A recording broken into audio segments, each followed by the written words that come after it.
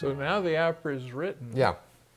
But now you have the adventure of finding a way to get it performed. How did that come about? Well, interestingly, what happened in my work, you know, this relationship between my work, the, the medicine, and the art stuff, um, is what got me going, thinking that maybe I could really produce it. What happened was I, I've, you know, my, my main professional work has been around depression and its impact on daily life and uh, finding that improving access to care for depression can help overcome disparities in outcomes for underserved minority populations.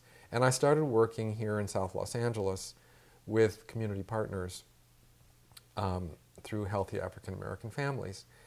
And the community members that I was working with said, you know, this is such a difficult subject to deal with, not the opera, but depression, that we need to engage the community through the arts. So we did poetry readings, films with dialogue afterwards, and photography exhibits, and so on. And uh, plus, I was very inspired by the community with the resilience that the community partners faced uh, amidst many adversities and the hope, and it was very inspiring to me.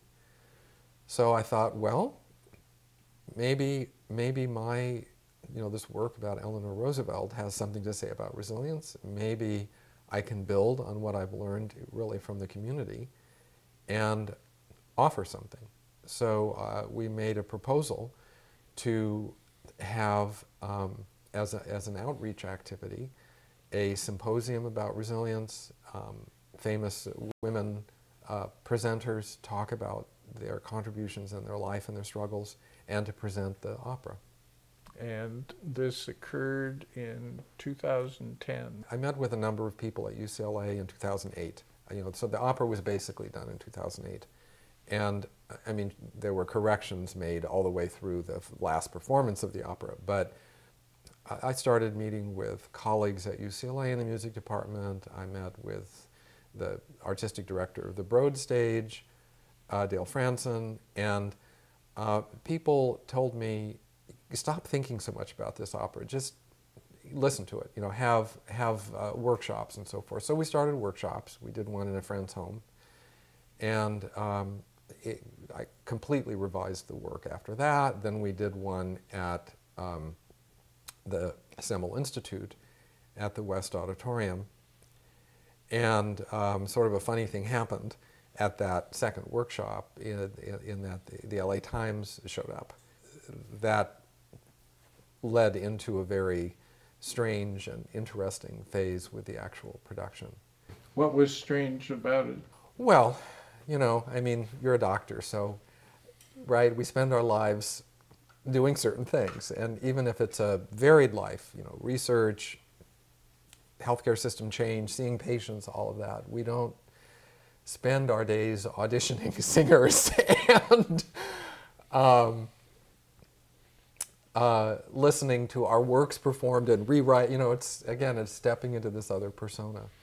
Uh, and when the LA Times got involved, they started, you know, they set up a blog. They followed me to my house. They watched me play the piano. They went to lectures with my students, and it was kind of crossing over all of these lives, trying to, you know, they were putting together the story and wanting to tell the story of this friendship and how it drove this 20 year history to an opera.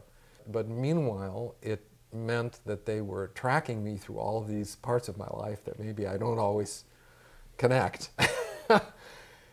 um, plus, it was, it was just a, a wonderful and very strange experience to experience my own music performed, to be at rehearsals changing notes and you know telling the oboist that it, no, it needed to be a C sharp rather than a C, and uh, going home and spending my evenings revising the work and bringing pages of music back, you know, for people to replace. I was, it was wonderful. Well, the LA Times did a series of articles, right? They, the day of the premiere, they came out with a large feature story, uh, not on the on the, on the work itself, but on the the friendship story, and and about the research and how I mean the uh, the work and how the resilience story also connected to what we were dealing with in our friendship around resiliency and making it and recovering and moving on with life and that sort of thing. So, what has happened as a consequence of that performance in 2010? What have you done since? What have been the results of performing the opera?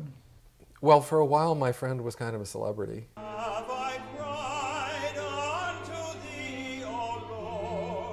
It was really, you know, his, his beating cancer and, and sort of being the uh, inspiration for, in that respect, for, for writing the opera.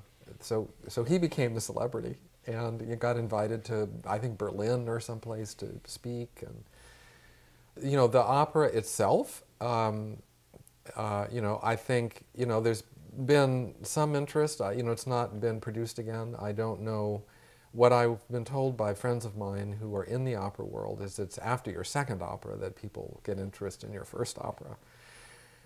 Um, and I have completed the second opera. It's going to be a while before it's produced, though, uh, in any public way, because uh, I mean, what what happened is one of the women speakers, Elyn Saks, um, wrote a book about her life and her experience with schizophrenia, and she's a very well-known um, lawyer and researcher, and she has survived and overcome, you know, this terrible illness.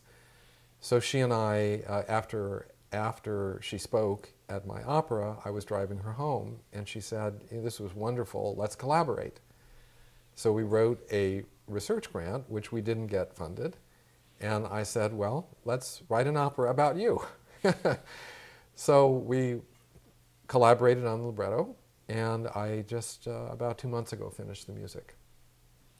But her book has been optioned for a major feature film, and um, it looks like it's probably going to be going to happen.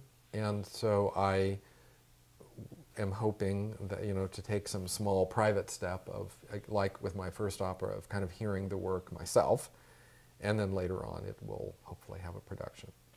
So of course I'm starting on my third opera instead.